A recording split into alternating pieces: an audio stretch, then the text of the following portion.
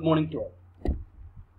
Today we will discuss anomalous secondary thickening in plants.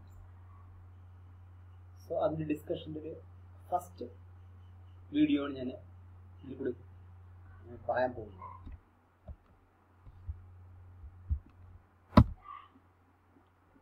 So anomalous secondary thickening, the word indicates that something is deviating from the normal or a common type or a common order.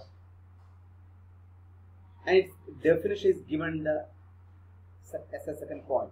The pattern of secondary thickening show deviation from the normal type is regarded as anomalous or abnormal secondary. So generally you know that the fascicular and interfascicular cambia combine together to form a vascular cambium. That vascular cambium is producing or constantly produces secondary xylem internally and secondary phloem externally. ഇങ്ങനെയാണ് secondary growth നടക്കുന്നത് ഒരു season കഴിയുമ്പോഴത്തേക്കും ഈ vascular ക്യാമ്പിന്റെ activity slow down ചെയ്ത് almost ഇല്ലാതാണ് again during the next season again a new vascular camp will be produced അത് വീണ്ടും എന്ത് ചെയ്യും അല്ലെങ്കിൽ ചിലപ്പോൾ ഉള്ള ക്യാമ്പ് വീണ്ടും ആക്ടിവേറ്റ് ആവാം. Then again it will contribute more xylem internally and less phloem externally അങ്ങനെ അങ്ങനെ സീസണലായിട്ട് സെക്കൻഡ് ഗ്രോത്ത് നടക്കും.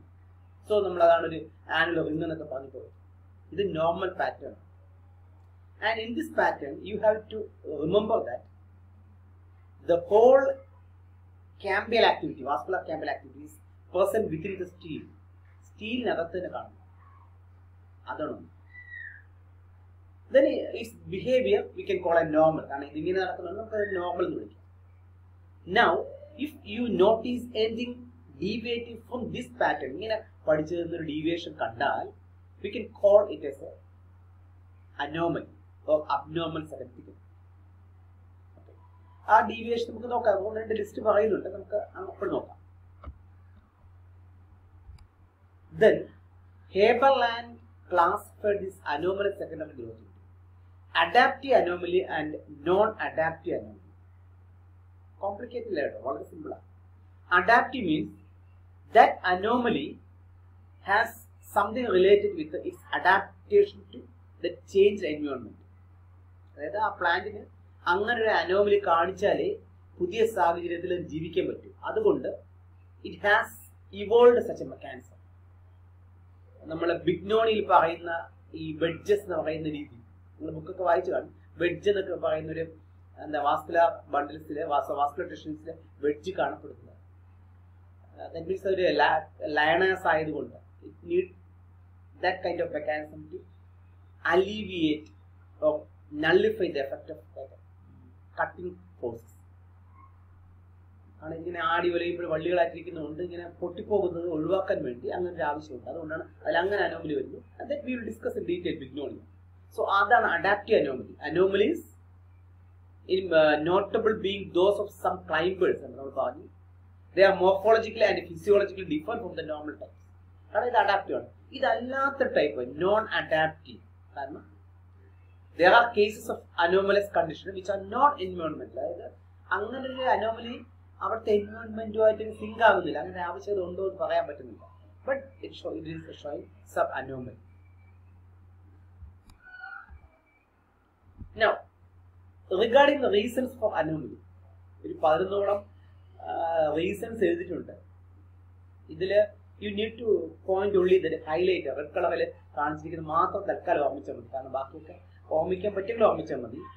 ഞാനങ്ങനെ എഴുതിയപ്പോഴത്തേക്ക് എല്ലാ റീസൺസ് എഴുതി പോയതേ ഉള്ളൂ.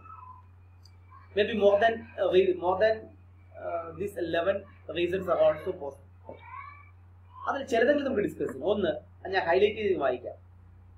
Abnormal behaviour of the normal cambia in some plants anomaly cambium normal ആണ് അതായത് primary structure normal but during the secondary growth the cambia is behaving abnormally Bignonia അങ്ങനെയാണ് ബിഗ്നോണിക്കകത്ത് ഒരിടത്ത് ഗ്രോത്ത് വളരെ കൂടുതൽ ഒരിടത്ത് ഗ്രോത്ത് കുറവ്. അങ്ങനെയാണ് വെടിച്ചുണ്ടാവുക നമ്മൾ ഡിസ്കസ് ചെയ്യും. ബിഗ്നോണി ഡിസ്കസ് ചെയ്യുമ്പോൾ ഈ പോയിന്റ് ഓർമ്മിക്കണം.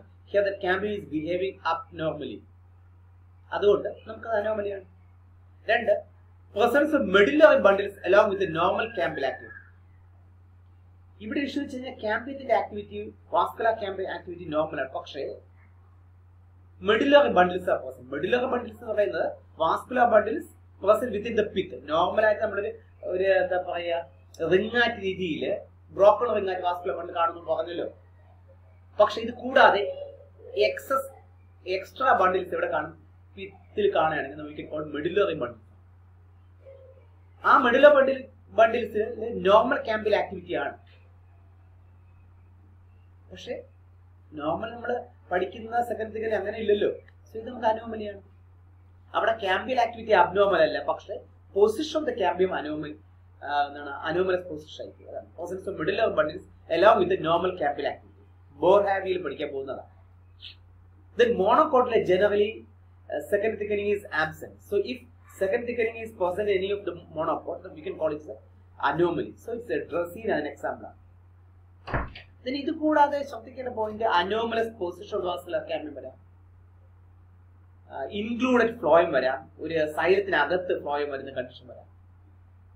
അങ്ങനെ വരാം. ഇങ്ങനെ ഇങ്ങനെ പല സ്കാറ്റേഡ് വാസ്കുലർ പണ്ട് ചില പ്ലാന്റ് ഉണ്ട്. ധാരാളം പ്ലാന്റുകൾ വരും ഇതിലൊക്കെ അനോമലി ഉണ്ട്. അങ്ങനെ കൊണ്ട് നോമിക്കുക. ഇൻട്രസ്റ്റ് ആയിട്ടുള്ളവർ അതിന്റെ എക്സാമ്പിൾ ഒക്കെ സൈറ്റ് ചെയ്ത് നോക്കുക.